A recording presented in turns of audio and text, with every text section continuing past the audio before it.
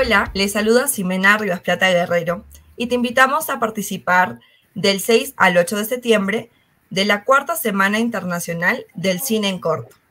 Cine, Retos e Innovación Acción, organizado por la carrera de Comunicación Audiovisual de UCAL y del octavo Festival de Cortometraje Peruano, organizado por Pink Jolé Producciones, en donde podrán participar de conversatorios, talleres y webinars.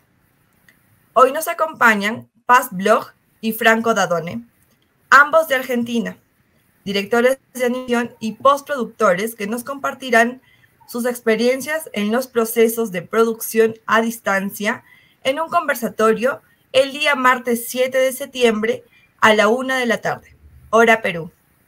Hola Franco, hola Paz. Nos encantaría que nos cuenten un poco más de su trayectoria y su participación del octavo Festival de cortometraje. Hola, ¿cómo andas, Jimena? Eh, bueno, nosotros con Franco Dadones somos argentinos, como vos dijiste. Franco reside en Perú y yo acá en Argentina, en la ciudad de Córdoba. Nosotros hace unos años que empezamos a trabajar juntos a distancia.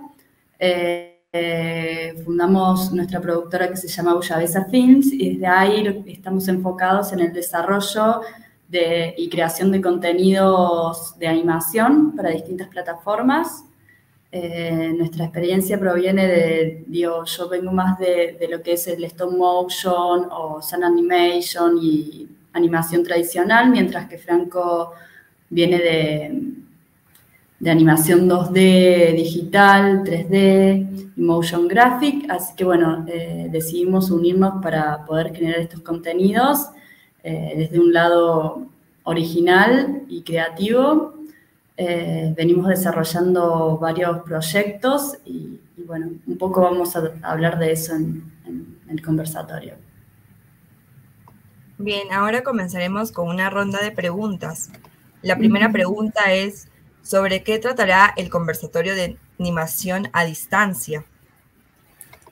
Bueno, la, idea es, eh, vamos a ir mostrando más que nada ejemplos de cómo empezamos a abordar el tema de trabajar animación a distancia, porque con Paz empezamos antes de, la pandemia, empezamos a trabajar desde el 2016, 2017, 2016.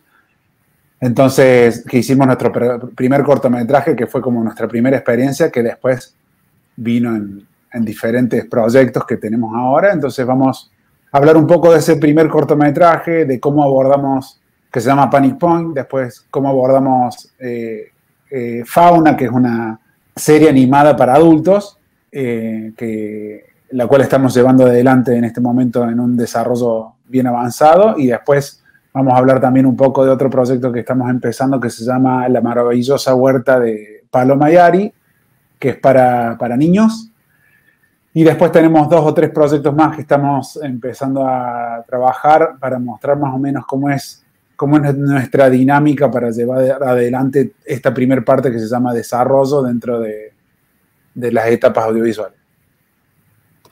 Bien, correcto. La pregunta número dos sería, ¿qué procesos, herramientas y qué tipos de animación o ejemplos nos compartirán para que el participante pueda conocer más y se anime a estudiar animación? Bueno, eh, vamos a mostrarle, eh, storyboards, eh, animatics, presupuestos, tornamesas, Biblias. es muy importante el tema de las Biblias.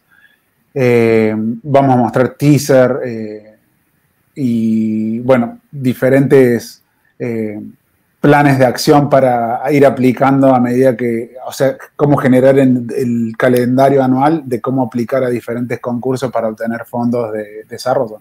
Para agregar cómo esas herramientas se pueden aplicar a distintos tipos de proyectos, tanto sean largometrajes, cortometrajes o series y distintas técnicas de animación.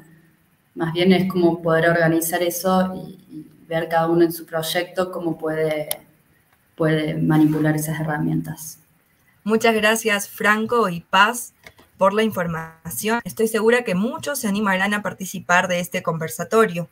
No se olviden que este martes 7 a la una de la tarde, hora Perú, tenemos una cita en el conversatorio de animación que se llevará a cabo vía Zoom.